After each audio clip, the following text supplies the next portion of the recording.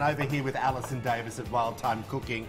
And I asked Allison, as you all know, that, you know, I had a bit of a croaky throat and I was feeling a little under the weather. And I'm not one to go to the doctors and get antibiotics. Right. And I said to Allison, you know, how about we make some type of detoxifying soup or broth or what could you come up with that can help our viewers at home? Just give us that little kick along that is good for the whole family.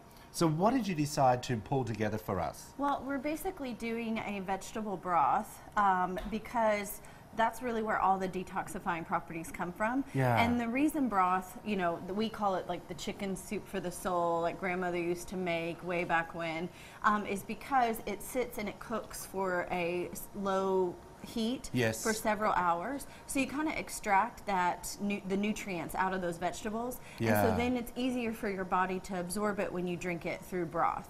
So that's why. Good idea. I didn't.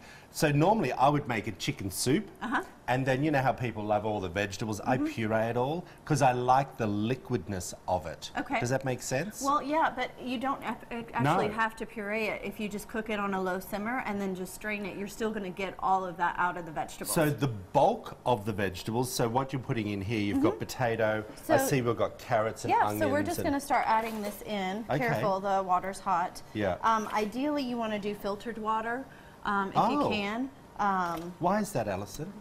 Well, Just better for you, obviously. Yeah, I mean, yes, because tap water, you know, there's other, you know, properties. So if we can have Yep. it filtered, that's absolutely. I gonna be you've got onion. Yeah, so Any I kind of just did a rough chop on these because again, we're just going to strain them. Yeah. Do you think any type of vegetable is a good vegetable when you're doing a broth? Honestly, Is there anything you wouldn't put in there when it Um, comes to a vegetable? I'm trying to think. Maybe not like your broccoli, um, you know, because of Hmm. Broccoli the and little cauliflower. Yeah, maybe not those Yeah. so much. Yeah, I got Uh, you. but actually, I even pulled out some beets because Um, you could use beets in there as well. These I know are amazing, and I just discovered at Whole Foods that they have these already pre-done in these little peelbacks, and they're like little vinaigrette um, beet beets in the fruit and vegetable department. I cannot tell you, they are so yummy, everyone. yeah, and I think Trader Joe's has them already roasted, just in a pack as well. Oh, or maybe I got them from Trader Joe's. Listen, you know we all go to those shops and we love them because they're convenient. Yes. Now, spinach, I see you've got mushrooms, you've got celery. Okay, yeah, celery, carrots, onions, that's your base because that's called what's a mirepoix. Yeah. Mm-hmm. So those really give you a lot of flavor together. Those are kind of the trinity.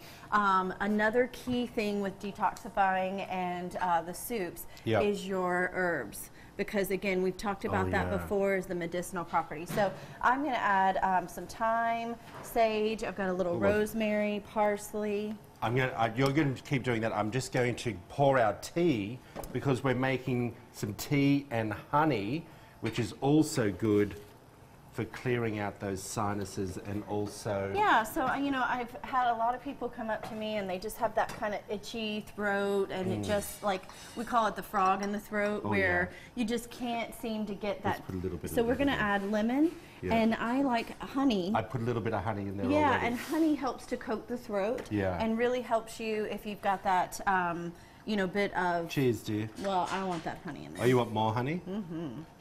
Okay, so, but I also noticed that ginger. Yes. So the other things in the broth, last Mm, yum. but not least, ginger is anti-inflammatory. It's also detoxifying. Oh, you just put the whole thing in I there? put the whole thing in there and let it just simmer. And the biggest ingredient is the turmeric. Oh, and it's going to give it a gorgeous golden color, and it really helps Mm. to detoxify and just cleanse the body. Yeah, I feel very Wendy Williams drinking a cup of tea Oh, whilst we're having a segment. Darling, how long are we cooking that for? So about two to three hours. You got salt and pepper in it? You can, but really it's not even necessary Got because you're just going to Got get all that out of the vegetables. Okay, well, guys, we're going to let this cook up. Um, it's going to be for several hours. We've got some put aside anyway. If you want to find out this amazing broth, and I really do think it is a great thing that we should be doing, you know, keep one in the fridge. I Yeah. say head over to WTVQ.com forward slash midday Kentucky. Click on midday Kentucky recipes. You're going to get it all there. We appreciate you. Stick with us, everyone.